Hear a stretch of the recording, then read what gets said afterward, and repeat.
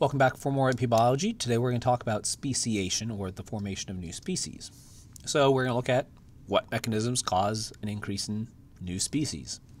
This is something that the College Board is going to test you on, guaranteed. Some book reading. So one of the th- big misinterpretations that exist in the world of speciation is shown in this picture.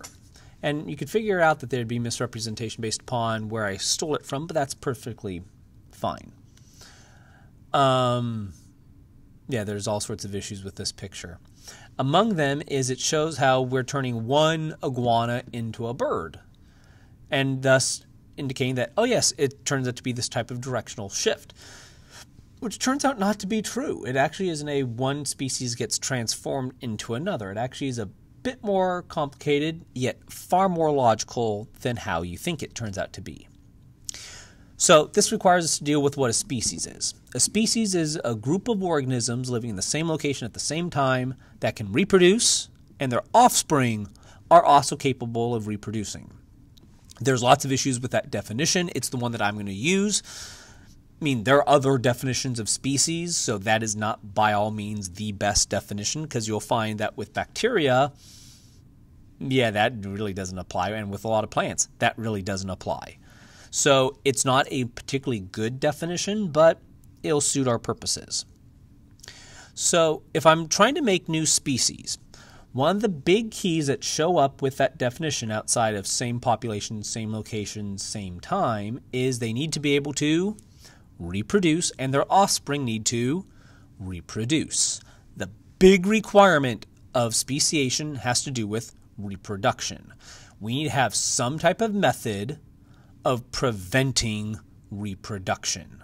As long as we can prevent reproduction, the result is I can isolate populations, and if I can isolate, I can cause speciation. So, how can we stop these mechanisms? Turns out there's two ways that you can really stop reproduction is you either don't allow fertilization in the first place or we need to stop fertilization from coming to fruition. If we prevent fertilization from happening in the first place, we call that a prezygotic barrier. And that could be you're found in different locations, or you end up mating at different times of the year, or you have different preferences, what we call behavioral differences, or we could have mechanical isolation, meaning sperm and egg don't recognize each other. So literally, the parts don't work together. We could also have what we call postzygotic barriers, which would be okay, so reproduction happened, fertilization happened, but it, we're not going to get anything viable. So we could have what we can call gametic isolation. Well, gametic isolation actually falls under the prezygotic, so it's also the parts don't match each other. But we could have reduced hybrid viability, meaning we end up having this hybrid, but it doesn't really turn out that great for it, meaning it's not going to really survive that well. We could have reduced hybrid fertility, meaning it's sterile. You make a sterile output, or we could have a hybrid breakdown, which is literally it starts to die on you. It actually falls apart, and it's just not a good keep. The hybrid viability and the hybrid breakdown the major difference is the timing. So reduced hybrid viability is you're going to die early on. Hybrid breakdown, you die later on. So how do we get speciation to occur? Turns out we need to have a few things. Step one, we need to reproductively isolate. Once we reproductively isolate, what we're going to end up forming are two, or is at least one smaller population. We might have two small populations, but we're going to get at least one small population. If you have a small population, we get genetic drift genetic drift will shift the genetics randomly, because that's genetic drift, until the two are of size where genetic drift doesn't matter and it's more about natural selection.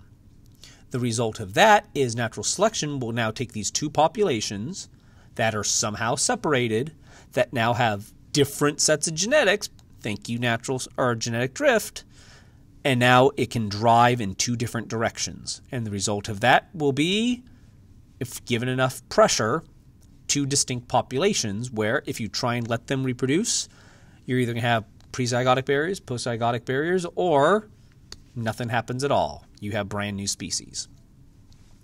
Allopatric speciation happens all over the place. The east of these examples is when the seas were higher. The Pacific Ocean and the Atlantic Ocean, or at least the Caribbean, were the same area. So Panama didn't exist. And as the seas dropped, the result was we got Panama and it separated the Caribbean from the Pacific. That separation separated out these two types of pork fish, and the result was we got two different species. And the result is because they happen to live in the same area, but they're separated by Panama. They got a physical separation. When we have speciation due to a physical separation, we call that allopatric speciation. Other famous example of this are what we call the cichlid fish. I know that says cichlid, but it's pronounced cichlid. These are found in Africa and South America, and they're itty bitty tiny fish and they live in pools all over the place. And what we notice is those pools dry up and we get smaller populations of them, or there you had floods that last forever and then water would recede slowly and we start to isolate the pools. And the result is we would get allopatric speciation because the pools are being isolated physically from each other.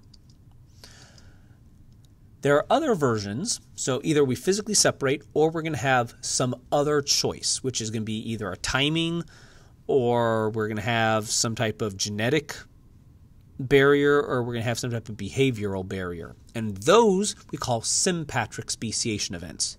They are organisms right next to each other, but due to a preference of time or what they like when they mate or a genetic difference, a genetic oops, we had a mistake during meiosis the result is we get two different species that are right next to each other. So, so when I look at this plant here, it's referred to as an anemone plant.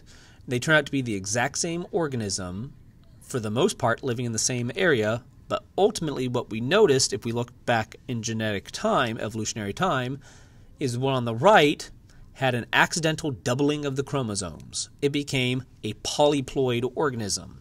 And the result is it had a genetic difference from the anemone flower on the left, and that resulted in a divide. The two plants lived next to each other, but because they happen to have a genetic difference, that was enough to cause a prezygotic barrier, and the result was ultimately speciation. We made the two populations smaller. We had genetic drift. result of genetic drift till we had is populations grow, but we didn't know what was going on until we had two distinct gene pools. Natural selection drove them separate. We've seen the exact same thing. This actually was figured out in the year 2009 using these finches from the Galapagos Islands. Famous set of studies by the Grants, Peter and Rosemary Grant, who studied Darwin's finches. What they noticed was the the finch in the middle, called the cactus finch, and the one on the right, which is called a ground finch, they knew what they were. And they turned out to be in separate locations.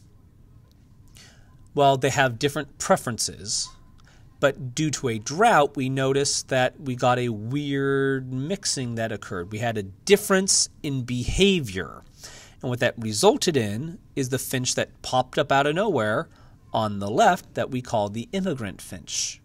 So we actually watched this happen in real time where a new species was coming about due to, in part, geographic isolation, but also a forced change of behavior. We've also seen this with this type of plant. It's called goat's beard. I can never remember what the T stands for, so I wrote it down. It's called Tragopogon.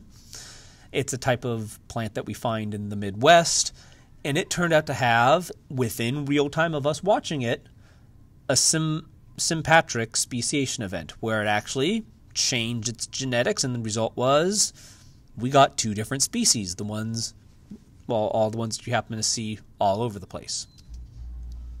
We've been witnessing the potential rise of a new species when it comes to the sea slugs that you happen to see listed there because they all happen to absorb chloroplasts and and algae from things that they eat.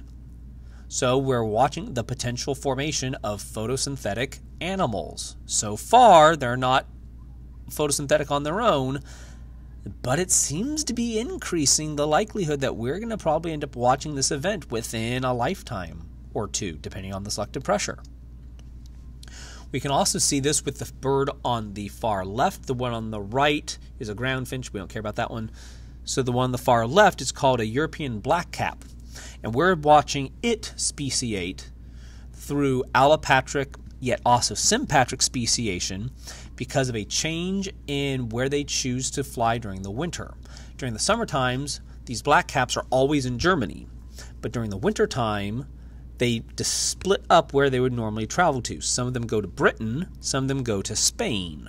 And the result is they're reproducing differently in different locations based upon preference, and it's driving this one species of the common European blackcap into different species. And we're watching this happen as we speak. So, how quickly does speciation happen? Good question. Depending on how you talk to, you'll get a different answer. Some cases it seems to happen slowly over time. In other cases, we don't see much change, then immediate change occurs. So, the slow, gradual switch or the slow, gradual branching we call gradualism. The one that seems to happen really fast we call punctuated equilibrium. Which is correct? Well, odds are the answer is both. We have some events that have rapid speciation and some events that have not so rapid speciation. It probably depends on the environment, how large the populations are, so how bad was genetic drift, if it happened at all, and then selective pressures placed upon the two populations. The point is, we know how to get new species because we have watched it happen time and time and time again. We can now explain the biodiversity of Earth.